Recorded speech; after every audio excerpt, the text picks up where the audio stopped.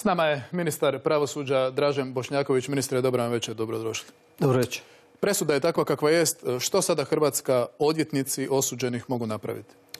Presuda je doista ovakva kakva je. Mi smo izrekli sto, svoj stav o njoj, ne smatramo je pravednom. Međutim, ono što je moguće, moguće je da branitelji, dakle da sami okrivljenici otvore postupak e, revizije ili pokrenu postupak za obnovu.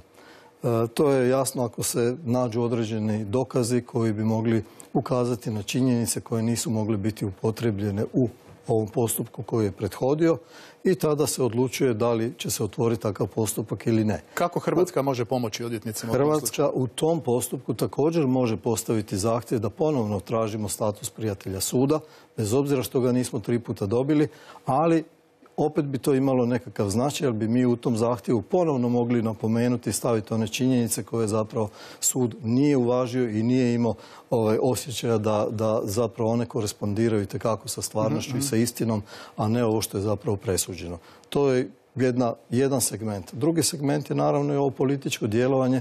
Ne zaboravimo, Hrvatska je članica NATO-a i članica Europske unije i mislim da na svim tim relevantnim mjestima mi itekako imamo i pravu i obvezu E, zastupati i širiti sve ono što je bilo istina, a ne ovo što je bilo u presudi. Ministre, da podsjetimo i naše gledatelje, dakle u 24 godine postojanja suda jednom se dogodilo da je konačna odluka preinačena u reviziji postupka. Radi se o slučaju Veselina Šljivančanina koji je prvo bio osuđen na 17 godina da bi mu u reviziji presuda bila smanjena na 10 godina zatvora za zločine u Vukovaru. Dakle, tako nešto je moguće da u reviziji postupka se kazna preinači. Dakle, tako nešto je moguće. To je dozvoljeni po samom statutu statutu i poslovniku jedan izvanredni pravni lijek. Ukoliko on bude dobro obrazložen, ukoliko ima i razloga za njegovo postavljanje, zašto ne bismo pokušali i zašto se ne bi u to ušlo. Ali ovdje moram ponoviti, ovdje se ne radi o presudi koja je izrečena Republici Hrvatskoj.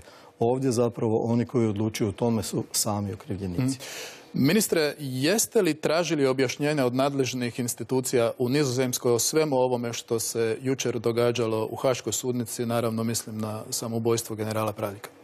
Mi upravo pripremamo i jedan takav moj zahtjev ide i prema predsjedniku Haškog tribunala Ajgisu i prema predsjedniku mehanizma koji nastavlja zapravo kontinuitet tog suda. E, tražimo jedno kompletno izvješće da nam se rasvijetle sve činjenice vezano za ovaj tragični događaj za generala Praljka.